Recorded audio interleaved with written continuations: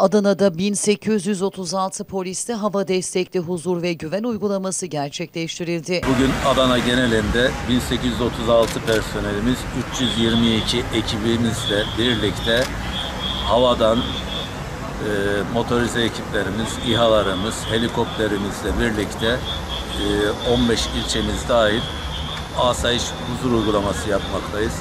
Adana'nın huzuru için 24 saat tüm arkadaşlarımız can siperhane görevinin başında. Bizler de onlarla birlikte huzur içerisinde bir e, günü geçirmeler için genel uygulama yapıyoruz. Bu uygulamalarda e, aranan şahıslar, uyuşturucuyla mücadelede uyuşturucuya yönelik e, kontrollerimiz, huzuru bozanlarla ilgili çalışmalarımız var. Yunuslarımızın güzel çalışmaları var. Narkotik ekiplerimizin alanda çalışmaları var. Merkez parklarda e, halkın yoğun olduğu yerlerde uygulamalarımız var. Bugün de yine arkadaşlarımız epey bir aranan şahıs aldılar. E, ruhsatsız tabanca yakalamalarımız fazlasıyla da var.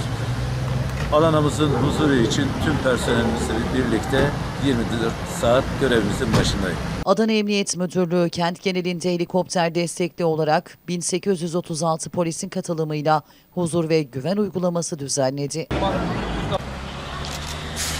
Kentin birçok noktasında trafik ve asayiş denetimleri yapıldı.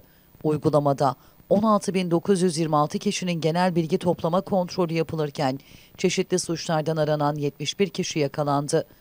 Uygulama noktalarında şüpheliler üzerinde ve araçlardan yapılan aramalarda 25 adet ruhsatsız tabanca, 3 adet ruhsatsız av tüfeği, 3 adet kuru sıkı tabanca, 288 gram esrar, 5 gram metamfetamin, 3 gram sentetik kannoboint, 1 gram eroin ve 114 adet ekstazi hap ele geçirildi.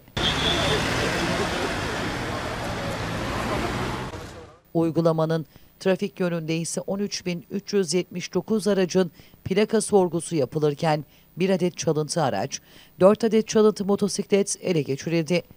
72 araca ise toplam 391.943 lira para cezası uygulandı. uygulama yapıyoruz. Tüm memur arkadaşlarımızla birlikte Umuma açık yerlere yapılan denetimlerde usulsüzlük yaptığı belirlenen 3 iş yerine işlem yapıldı.